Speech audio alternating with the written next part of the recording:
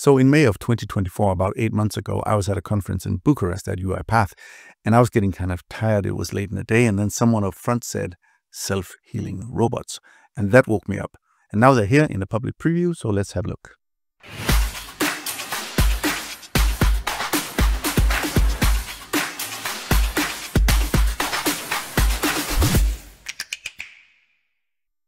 So the idea behind a self-healing robot or the self-healing agent, as it's called, is that some of the most common problems with our automations should be easier to fix.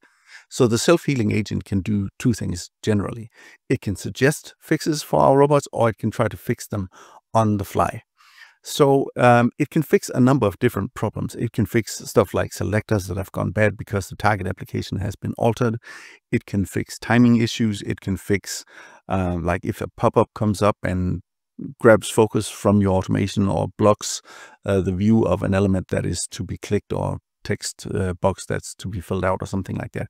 A number of problems can be fixed using uh, this new technology. In this video, we're going to look at um, a very common problem, the most common problem for me at least, and that is selectors that go bad for some reason. So I've built this very simple form that we're going to automate and then try to alter the form and then see if the automation can fix itself. The form is very, very simple. It has a first name field, a last name field, and a submit button. Uh, and if we fill out the first name field and the last name field, and just before we hit the submit, notice the URL up here. It just says heal1. And once I submit, we get these two uh, query string parameters. First name equals Jeppe and last name equals Jespersen. That's because this form submits back to itself. That's all it does. And the names of these uh, parameters are defined by the name property inside of the source code. Let's have a quick look at the source code. The most interesting stuff here is basically this uh, element right here. It's an input element of type text. It has the ID first name, and the ID is a unique identifier. And then the name first name, and that's just the name of the value that you saw up there in the uh, URL. Other than that, what I have here in the background in this uh, big orange thing is my virtual machine. That's the machine that's actually going to uh, run this automation. A couple of things to take note of. You need to have a robot version 24.10.8 as of right now, January 5th, 2025. So a robot version 24.10.8, it has to be a community edition. It is not out yet uh, in GA for enterprise. And then also the UI automation activities need to be 24.12.3 inside of Studio. But let's jump into Studio and start building the automation. So here we are in Studio, and we can see here in the dependencies list that we are using the UI automation activities package 24.10.8. That is too old, so we're going to have to upgrade that. So we'll click uh, Manage, select the package, and then just, well, it already selects the 24.12.3 preview package. I'll click Update and Save.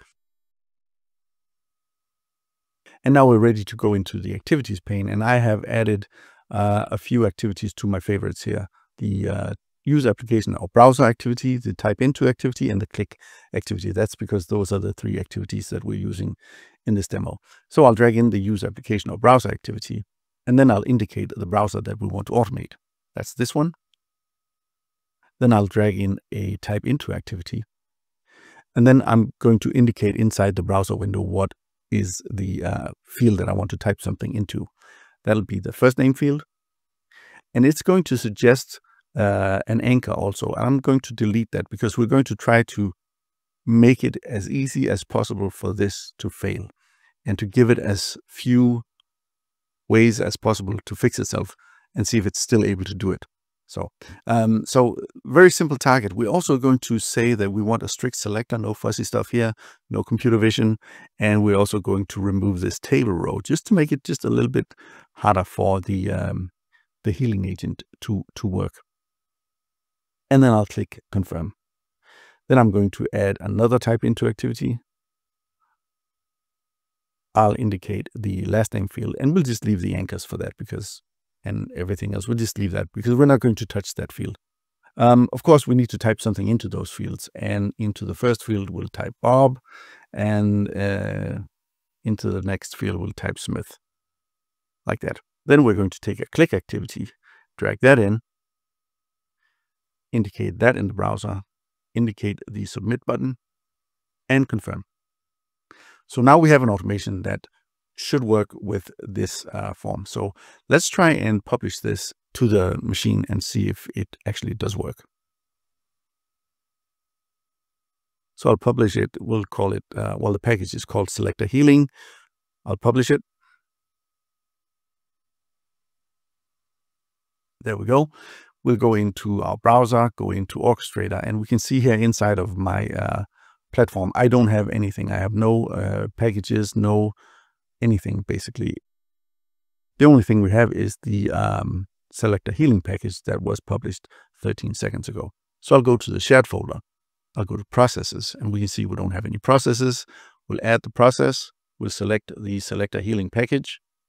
We'll go next, next, and then we have these new options here. Enable agent healing. That will generate a suggestion if the uh, automation fails. It's not going to try to heal it on the fly. Only if you enable uh, healing agent self-healing will it try to do it on the fly. But we are okay with that. We'll click create, close, and now we have this one new process. So let's try and run this and then jump over to the uh, virtual machine to see if it actually does run. And I'll click start, go to the other window,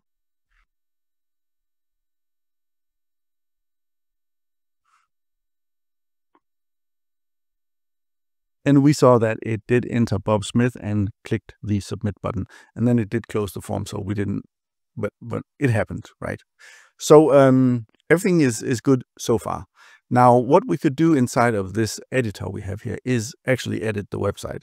So let's open it again here inside of the virtual machine, just to make sure that the, the source code actually does change. So if we look at the source code for this now, we can see that the uh, input field for the first name is actually has an ID of first name and also the name is first name. We'll, we'll change both just for the hell of it. So go into the editor here and we'll just change it to F name and F name. And then we'll save it. Go back here, do a quick refresh, view the page source. And now we can see that the uh, ID is actually F name instead of first name. So now the robot should break. So I'll close everything up here, go back into my uh, orchestrator, look at the jobs that have run. I'll just do a quick refresh. We can see that the selector uh, healing job did run with success about a minute ago. If I restart the job now, we'll see what happens. And we need to have a little bit of patience because it's going to try different things when it is unable to find the right uh, screen element. But let's just uh, restart it and then I'll fast forward the video whenever things take a little bit too long and then you don't have to wait so long. So let's restart it, click start and go to the virtual machine. And we can see that it actually finds the web page very quickly, but it doesn't type in Bob uh, Smith, was it? Yeah, it was. So let's see if that happens before too long.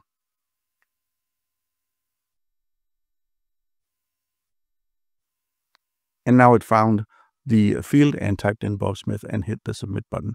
It took about a minute maybe, um, but if you're patient, usually it will find it. So let's go into the job and we can see that it actually completed the job with success here. If we click the um, menu over here and select view logs of this job, what we'll see is that we have the job details as always. We have the logs, which basically tells us everything that happened. And it tells us here that it could not find a UI element corresponding to this selector, blah, blah, blah. And then it started the healing agent to try to recover and try to suggest a fix for this problem. And since we enabled that auto healing, auto fixing option inside of Orchestrator, it actually fixed it on the fly and completed the job successfully. So it didn't break our robot. But what it did is, if we go to this last tab over here, healing agent, what it did is it gave us a description of what it found and what could be changed. So down here at the bottom, if I zoom in a little bit, we can see here that the original tag that was expected was the one that had first name in it because that was what the uh, element was called or the ID of the element when we built the automation. But now it found that the ID probably should be F name. And then we could add also the table row equals one to further increase the chance of it finding the right screen element. So this is actually pretty cool. It also shows us some, some screenshots, what it wasn't able to find. And then the second screenshot over here, if we're lucky, it shows us what it thinks is the right element. So a bunch of information in here that's that's quite useful. Now what you can also do is go up here to the top and you can download this debug file. And this is a file if we download it. It just takes a, a couple of seconds. There we go. Ready for download. It placed it in my uh, downloads folder. So if I open my downloads folder, we can see that there's this zip file here. Now, if I open Studio, which is already open, I can go to Autopilot in here and I can import this debug file. And it will then show me some of the information that we saw inside of Orchestrator. What I can also do, I'll just close Studio real quick, is I can simply click here, open in Studio. Now I can only do that because this uh, Studio is directly connected to the tenant in which the automation ran. Uh, so if you have like a test tenant or development tenant and it happened in production, then you'd have to connect Studio to the production tenant. I don't know that you want to do that. So in that case, you would download the file, import it in Studio as I just showed you. But if you are connected to the same tenant as the automation ran on, what you can do is just click open in Studio. That will then open Studio with that file that I just downloaded. And in the uh, autopilot tab, I'll just maximize my studio here so we can see stuff better. There we go. And then in the autopilot tab over here, we can see some of that same information that we just saw inside of the, um, the orchestrator. Now, what I can do inside of Studio now is I can simply take these suggestions that it made and say apply. So I just say apply and confirm. I publish a new version.